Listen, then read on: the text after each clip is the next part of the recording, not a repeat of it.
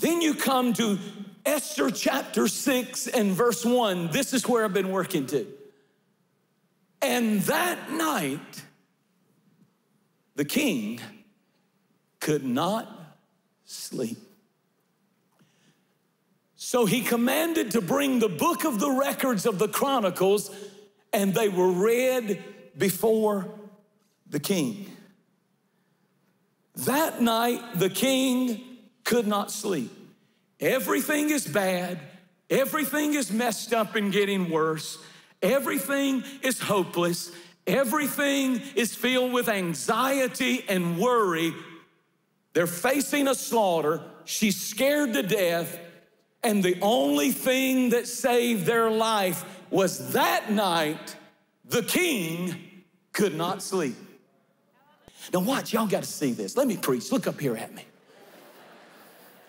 That reader just happened chance opens it and starts reading about Mordecai the Jew who saved his life. And the king says, Wait a minute. What was done to reward that man? Has he ever come and tried to tell me this story? No, sir. He didn't want any credit? No, sir. Has he ever, has he ever asked for a reward? No, sir. My goodness, he did it with no motive. I want to reward that man. What's happened to that man? Nothing, sir. Nothing was done to reward him. Nothing.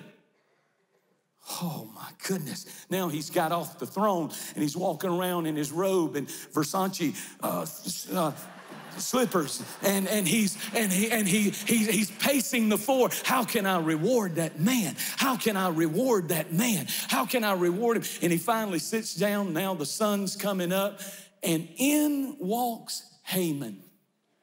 He's freshly shaved. He slept like a he slept like an angel, and he feels good, and he walks in and he thinks I just had the greatest night of my life, and tonight I get to do it all over again. I am something special. He walks into the presence of the king. The king looks at him. He's got black bags under his eyes, and he says, he says, now, uh, he says, I want to ask you something, Haman.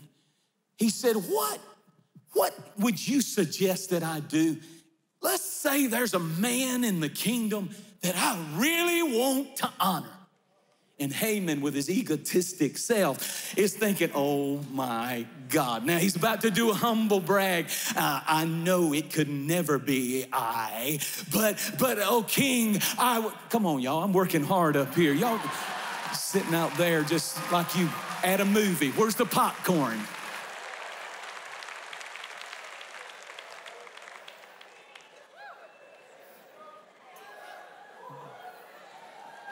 I'll preach to myself. This is how I preach. That's how I talk to myself when I read stuff. But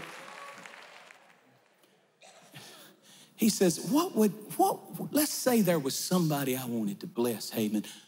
I mean, I really wanted to show honor and show the whole nation this guy is a big deal to me. Sir, I would suggest humbly I think you ought to take your robe off, your robe, and put it on him. I think you ought to take your stallion, the steed that you ride on yourself, and you ought to let him ride on it with that robe. I think you ought to take some pipsqueak, some minor, lesser person, and let them guide the bridle of that horse on a rope and walk through the streets and as trumpets are blasting. Tell all the people the man in whom the king honors is before you. And instantly the king said that's brilliant. I love it. So here's what i want you to do. I want you to do everything you just said haman but do it to mordecai the jew. And he said by the way I think you're important enough that you should be the one who's leading the horse, screaming the man who the king wants to honor. This is the man on the horse. Well, I don't know who I'm preaching to, but stuff you're worrying about, you've forgotten who your God is. You've forgotten how powerful He is. You've forgotten that when He speaks, seas open. When he speaks, mountains move. When he speaks, demons tremble. And know the enemy's plot against your life will not be successful. God is fighting for you. Sit down, I'm almost done.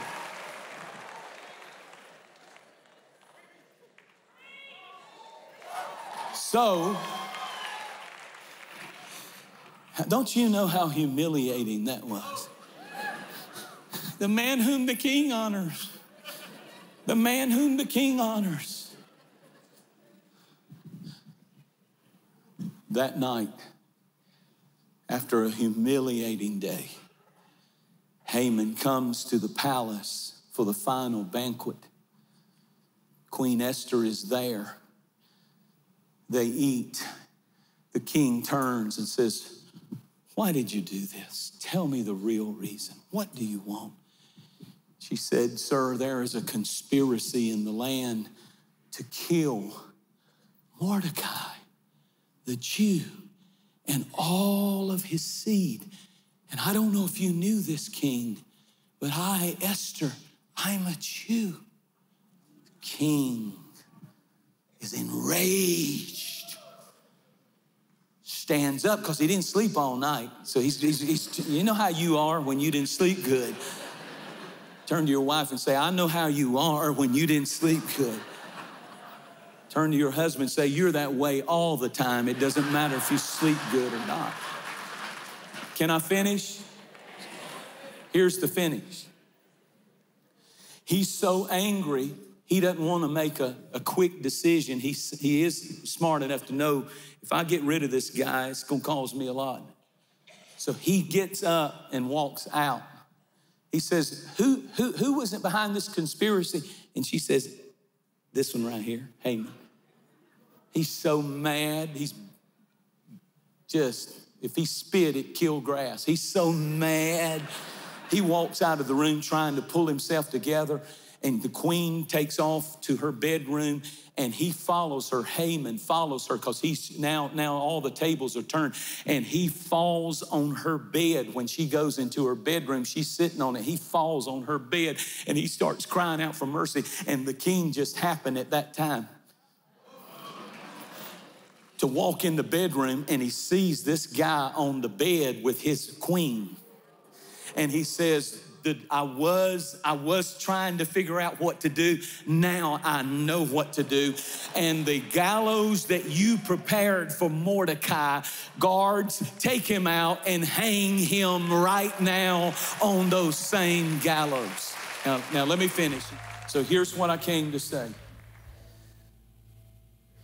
In a church this size, This 2,600 year old story is not just a piece of history, but it's a reminder that you need to hear that you have a king who has intentional insomnia. He said, I will. He didn't say, I can't sleep. He said, I will not sleep or slumber because I'm going to walk the floor. And while you sleep, I am up and I'm planning and I'm plotting your comeback. I'm planning how that the enemy has constructed things that I'm going to turn for your good. I'm going to use them against the very voices that have tried to destroy you. Your king is not asleep, he's active, he has a plan, he's for you. In a crowd this size, there's some family that's represented that had a heated argument. Unkind, cruel words were spoken, maybe even last night. And it looks like the enemy's gone wild in your family. There's somebody else here who's scared of a medical situation. You dread going back to the doctor. The word, the C word, cancer, is tormenting you. You don't know what in the world, and the problem is real and it's being formed, and you feel like you're worried and you're full of anxiety and fear and worry. In a crowd this size, there's some parents that are agonizing over a teenager that's making crazy decisions, and you never thought in, you get one kid fixed and then another one acts up. How do you know? Because I raised five of them.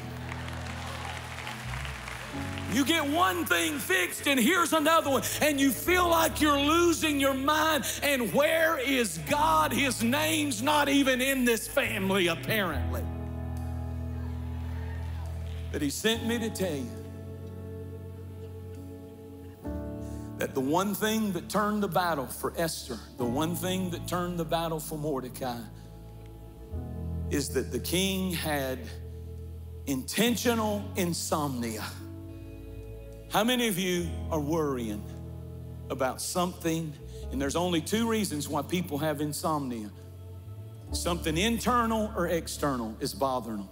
It may be something internal, it may be a disease, it may be something going on internally, or it may be something externally with people, relationships, job, family, but it's it's it's worrying you, tormenting you.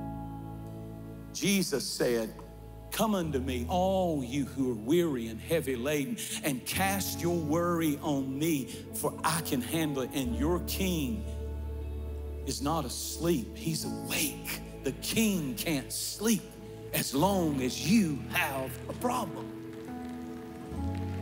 You don't believe he loves you, you're not a somebody, you're the bride of the king. Thank you so much for watching. Make sure that you subscribe to our channel so that you can get notifications on new posts and live streams. Be sure to share this video with a friend. You never know how you can send the Word of God right when somebody needs to hear it. And you can use your social influence for good, for the glory of God. Thanks again. Share it with a friend. And I really appreciate you watching. We'll see you next time.